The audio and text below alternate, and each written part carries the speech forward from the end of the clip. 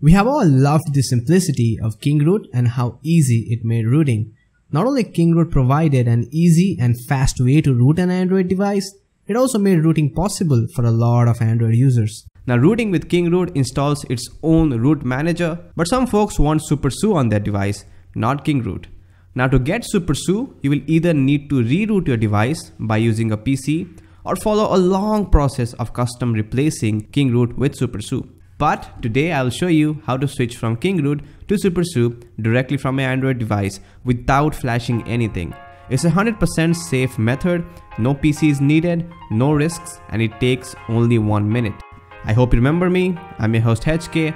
Welcome to the Android Guy.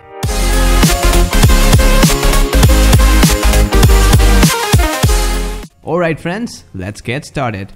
Yeah, but before we get started, Number 1. Make sure that your device is rooted with the latest version of KingRoot, that is KingRoot version 4.5 or above.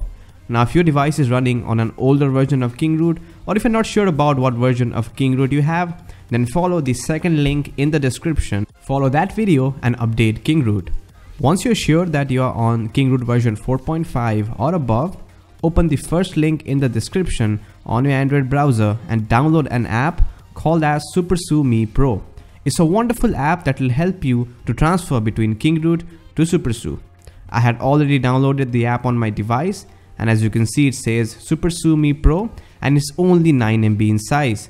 I had also ran a virus check on it and as you can see it's clean. Once it's downloaded, simply tap on it and install it just like a regular app. Let me go ahead and get through the installation process. Once the installation of this app is done, open this app up now it's a root app, so it will ask you for root permissions. Make sure that you grant the root permissions. Then tap on OK.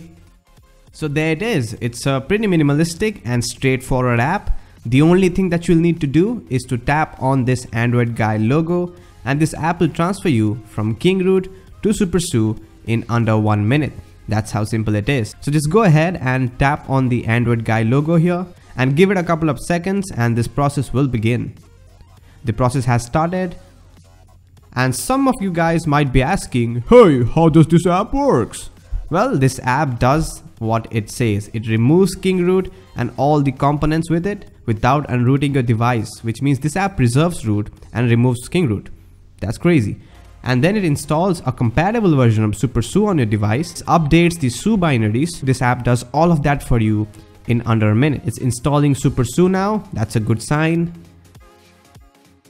And bam, this is completed and SuperSU automatically started up. The process is successful. That's SuperSU. That's great. But let's go back and check it out. And as you can see, there are no traces of KingRoot here. But if you do have a KingRoot icon, simply remove it. Let's go to the app drawer and as you can see KingRoot is nowhere to be found but instead we have SuperSU here which means it did work. So do give this video a thumbs up, that really helped me a lot. So let me show you what all features KingRoot has and give you an overall walkthrough of it. Now here you will find all the root apps that are on your device. Swipe right and you will be finding the log menu. Swipe again and you will be at the SuperSU settings menu. And that's it, pretty basic. Now SuperSU does not have all of those useful features that KingRoot had Things like bloatware uninstall tool, AutoStart Manager, Purify, none of those features is available on SuperSU. Half of the options in the setting menu went over my head. Now you might be asking, hey, what's the difference between KingRoot and SuperSU? Well, nothing much actually. Well, since SuperSU was the very first root manager for the Android, some people are very comfortable with SuperSU around, not KingRoot. And a very few number of old apps work better with Super SuperSU. So yeah, that's it. That's Super SuperSU for you. But what I want to show you in the settings menu is the cleanup tab. If you want to remove root and Super SuperSU with it, then tap on the full unroot button and root will be removed from your device. If you want to get back to KingRoot, then it's better to full unroot from here and then install KingRoot and root your device as shown in the second link in the description. But if it did not work for you on the first try, then free up some space on your phone memory and try again, it will work. But if the process did work, but you're still getting the SuperSU binary update error, then read the description, I have given some fixes there. Again, you can get SuperSU Pro from the first link in the description box, but if you want to support the developers of this app, then please consider installing this app directly from the Play Store. I will leave the direct Play Store links of this app in the description. That will be the third link in the description and that will really help the guys who made this wonderful app. So I hope you found this video helpful and interesting. If you did, do give this video a thumbs up and do subscribe if you haven't already to watch more interesting videos like these. Until then, I'm your host HK from The Android Guy signing out and you guys have a great day. Peace.